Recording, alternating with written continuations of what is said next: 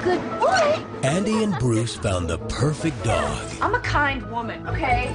But we have rules, and you know them. No dogs allowed. I need cinnamon. Now all they need is a place for him to stay. Don't you think he deserves a real home? Tony! No! Get back here! What's that? It's just an old hotel. Go, go! Think they belong to anyone? If they did, would they be here? Are you thinking what I'm thinking? Oh yeah, why don't we just wander the streets and rescue every stray we see? Bow wow wow yippee yo yippee yay. Bow wow yippee yo yippee yay. We got straight on St. Andrews and 6th. Come on, guys, you're being rescued. Here, doggy. What's the matter? Never seen a husky kid in a hoodie before?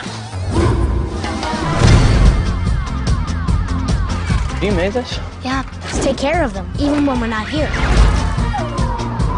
Thank you for riding the simulator. Please exit for the next customer.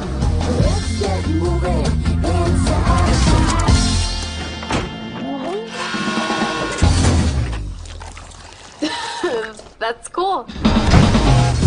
From DreamWorks Pictures I'd like to call in and complain about a howling dog. We're close. I'm hearing something. and Nickelodeon Movies. Do you know what happens if we get caught in here? When the secret gets out, Do you really think you could outsmart us? Rather not answer that question. the chase Officer, would you please arrest these young felons right now? is on. We're gonna be in more trouble than we've ever been in, but we're gonna save the dogs. All right, guys, come on.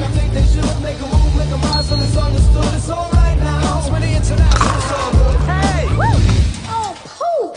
Who poops on the floor? Hotel for Dogs. That has to be the grossest thing I've ever seen. That's awesome.